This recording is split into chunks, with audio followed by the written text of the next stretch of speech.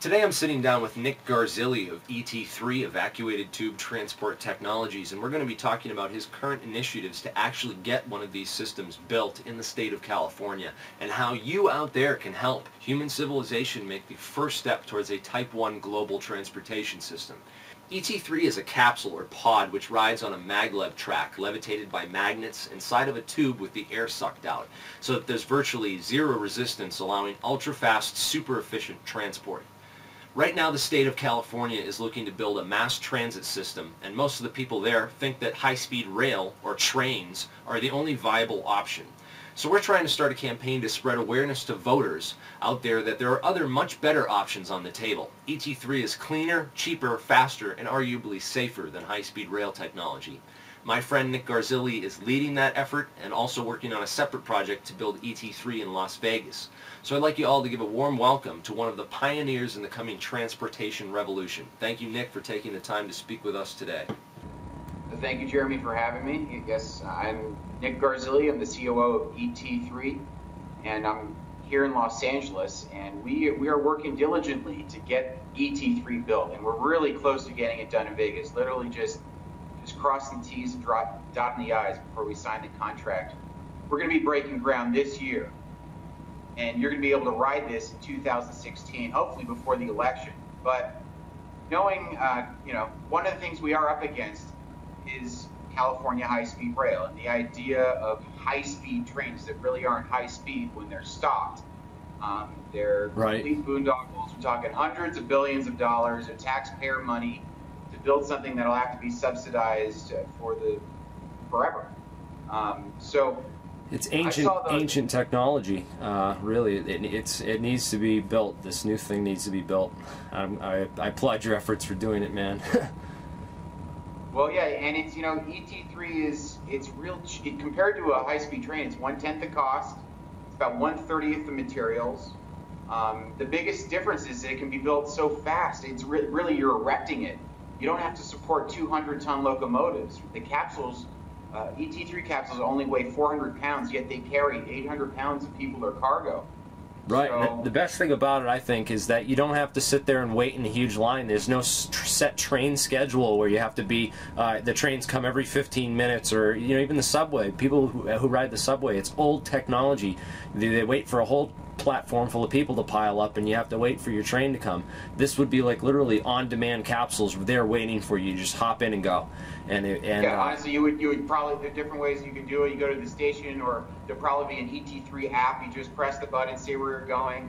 Your capsule would come, and you would hop in it. And the big difference between ET3 ET3 is more like a car, so you're either going to be traveling alone, you know, in your own personalized space, um, or maybe a couple people to save costs that are going to somehow going to the same exact location you're going to. But yeah, you go point A to point B nonstop.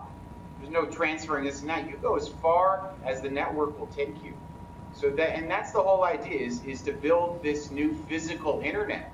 We are stuck in old modes of transport. There hasn't been a huge huge uh, paradigm shift in transportation for almost 100 years now. Right. And so that, that's where we are. I mean, passenger Trains, planes, and automobiles. backwards in time now because they want to build a high. They want to build a train. Trains in 1910 they had a 90% market share of, of passenger uh, of passenger travel between cities. Cars and planes displaced trains for that use, and now we want to go back in time to build a high-speed train. And yeah, it goes, you know, what it'll go maybe uh, 170 miles an hour, maybe 200 but then it has to come to a stop. And um, anyway, ET3 is is uh, is just going to change everything for so many people. You're going to be able to do, you're going to be able to go places and do things you never thought possible. And all that money that you spend on your car insurance and your car insurance, airplane tickets, um, all, all, Well, also the trucking industry and the transport industry of goods and, lo and logistics of just sending um, packages. You know what it's going to do? You send it, send things through ET3, uh, cargo transports as well. I mean, have they, what, what have they looked into that as well? I mean. Oh, of course, yeah. Cargo. Listen, the, the worldwide transportation market is an 8.7 trillion dollar annual market. And we believe ET3 within 25 or 30 years will capture 90% of that market for things over 30 miles in distance. Yeah. And it's basically split half cargo, half passengers. So unlike a high, unlike the high-speed rail, which is just for people uh, going through some of the most prime farmland in the world, just tearing it up, ET3, you're going to be able to put produce picked right from the right from the vine or, or the plant or whatever, and put it right into the capsule, one one pallet minimum order at a time, and send it anywhere in the network, yeah. straight to market, boom, without using a drop of gasoline or oil. So that and and the thing is, they don't have you won't have to lay down these tracks and spray it with the chemicals to keep the plants from growing on the tracks and all that kind of stuff that they do. You could have farmland literally growing underneath this thing and uh, solar panels on the top of it the whole length of the way, providing clean energy and renewable Definitely energy. A two-inch strip of solar panels on top of the tube will power the whole thing. Yeah, it was absolutely. It'll be all solar and powered. And on the tubes, you're gonna be able to put fiber optics and other stuff. I mean, it's gonna the yeah, it would be it would be an internet backbone as well as a transportation backbone. You know, you can yeah, well, state of the art fiber optics on that as well. Yeah, yeah, exactly. I don't know why uh, every billionaire on the planet isn't investing in this. They're stupid not to. I mean, this thing is going to be the future. I, I knew it the minute I thought about this idea. I had this idea on my own. Turns out it's a lot older than that. Jules Verne uh, and everything. He, he had first thought this the, up. The, so you know, people say, oh, this is the Jetsons or this is Futurama. Listen, this idea of traveling in a tube that has the air sucked out of it goes back 100 years, over 100 years, Jules Verne. Robert Goddard started had the idea in 1910, 1920. He got building, he got busy building rockets. You know, he, he's you, you look at Wikipedia him. He's credited with building the first liquid-filled rocket. Yep. There's the Goddard Space Center. Well, when he died, 131 of his patents, uh, his papers, um, were filed by his wife, who used to be his secretary. One of them was a vacuum tube transportation system. Yep. It's 1947, I believe. Then the Rand Corp did studies in, in, the, in the late 60s and 70s. There's a there's a paper called VHST that's different than ET3. It's a bigger vehicle floating on liquid helium. But I can show you, and I'm sure you can pull it up, a March 1972 article, front page LA Times, that says New York to LA in 30 minutes. Yeah. Now we, we only want to do it in 45, but still, that was 1970. Yeah. So this this idea is is is is is old, but and it's long overdue. It's long overdue. overdue.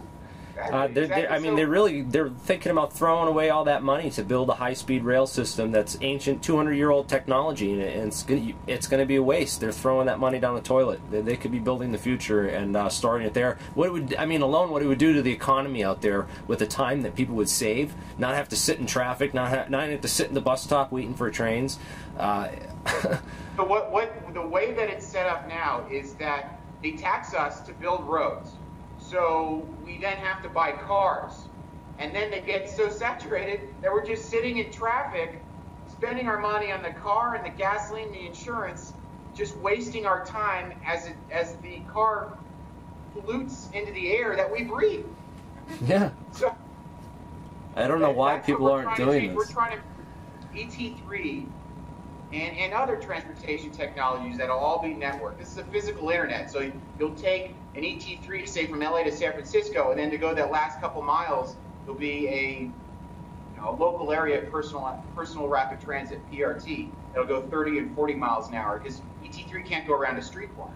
Right. Then you build this physical internet where people will be able to hop on cars. You know, you probably have to Google cars. I mean, I was thinking like a pod, a little pod system that could be even even one that with, with, wheels that could pop out, and you could just jump off the like the low the low speed track and just and just uh, drive to like down the street wherever you need to go, like a little, you know.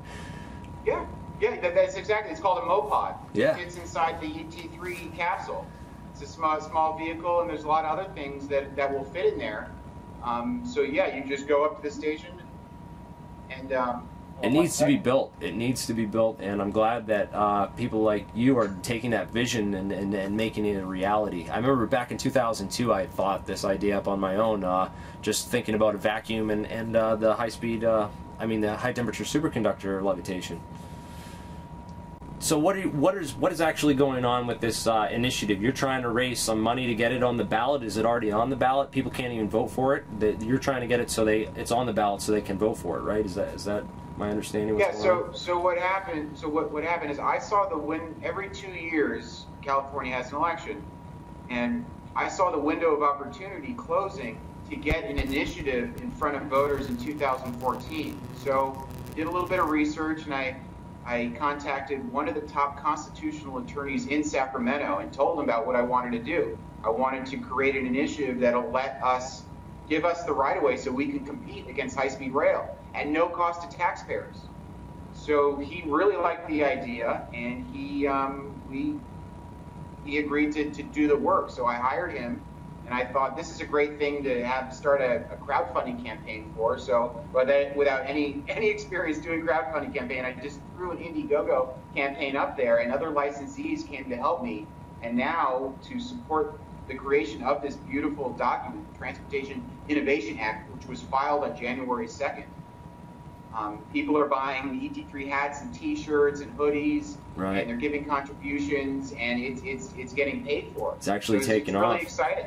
I'm, really exciting. I'm going to tell people to go to that link. I'm going to put it in the description below on this video. Go to that link and check it out. Even if you don't have much to donate, at least get a hat or a T-shirt.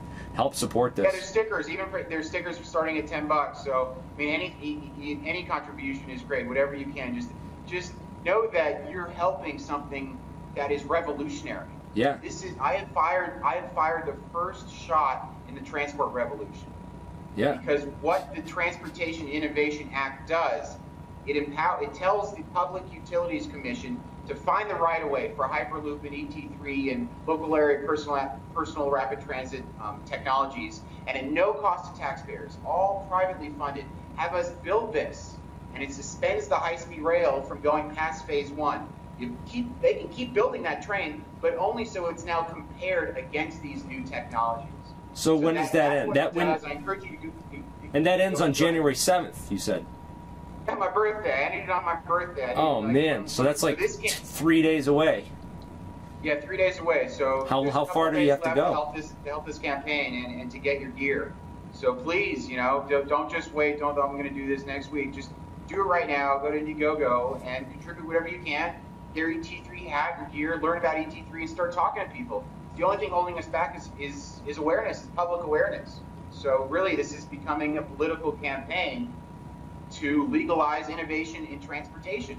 That's what this is. And really, that's going to affect uh, the, entire oil crisis, the energy crisis with the oil markets too. Because it's not we're not just we're not addicted to oil. We're addicted to the transportation that oil provides us with. You know, I've heard you say that before, and it's so true. Yeah, yeah, exactly. You know, we need to unhinge oil from transport. Once we unhook that, then the price of oil can go up without crashing economies. Yeah, we'll still be able to get to work. You'll still be able to. I, I, I know people that have had to quit jobs because they're not, they don't have they don't have enough money to pay for gas to drive there. You know. Yeah, or move, or, or let their house go into foreclosure. All the people that bought houses in the Inland Empire that were commuting to work, at some point you have to make a decision. You want to keep your house or keep your job? People keep the job because you can't keep the house without the job. Yeah, So it's they, true. They just move closer to work. So right now, you know, it's it's they're pushing. They're trying to push people into living, um, you know, in hubs and transport hubs, pushing them into old modes of transport, whether it be subways or high-speed trains. So yeah, people want to know more about ET3. They can go watch some of the other videos we have up on the web about ET evacuated tube transport and learn more about the details and the engineering about the technology. And and and uh, of course, they have a website et3.com. They can go check that out. I encourage everyone check that link in the description. Get get your hats. Go order support this campaign. Whatever. Go to et3.com. This is going to be the transport revolution.